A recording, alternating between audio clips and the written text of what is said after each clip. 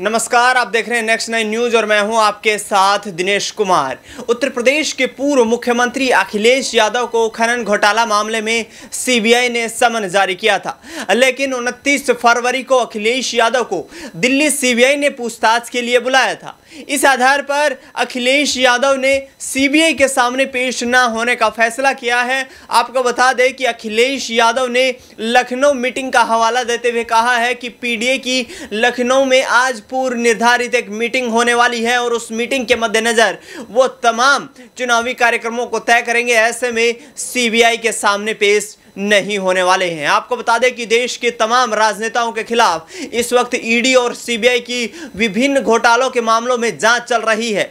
लेकिन अखिलेश यादव को चुनाव से ठीक पहले सीबीआई की तरफ़ से भेजा गया नोटिस उन्होंने पूर्णतः राजनीति से प्रेरित बताया है। अखिलेश यादव ने कहा है कि पिछले दस सालों में यदि ज़बरदस्त विकास हुआ है तो आखिरकार फिर भारतीय जनता पार्टी को सरकारी जाँच एजेंसियों का इस्तेमाल क्यों करना पड़ रहा है। चुनाव के पास आते ही यहाँ पर भारतीय जनता पार्टी विपक्षी नेताओं को दबोचने के लिए यहाँ पर ईडी और सीबीआई जैसी एजेंसियों का इस्तेमाल करना शुरू कर देती है और ये पूर्णतया से चुनाव से प्रेरित है। अखिलेश यादव के खिलाफ आपको बता दें कि सीबीआई ने खनन घोटाला मामले में नोटिस बीते दिनों जारी किया था।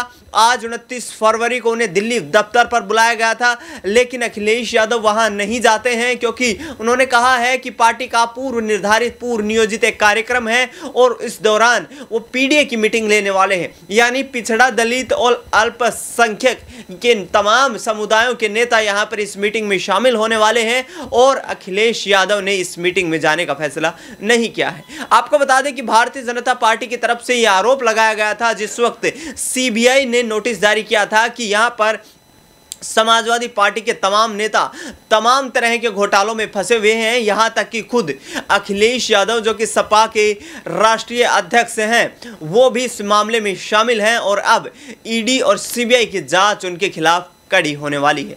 अब देखना यही होगा कि अखिलेश यादव का नाम भी क्या उन्हीं नेताओं की सूची में शामिल हो जाएगा? जिन नेताओं ने पिछले दिनों ईडी के तमाम नोटिस का जवाब नहीं दिया, जिसमें हेमंत सोरेन की तो गिरफ्तारी हो चुकी है, लेकिन दिल्ली के मुख्यमंत्री अरविंद केजरीवाल को भी आठ नोटिस भेजे जा चुके हैं। अब देखना यही होगा कि समाजवादी पार्टी किस तरीके से इस पूरे घटनाक्रम पर अपना रुख स्पष्ट कर पाती है।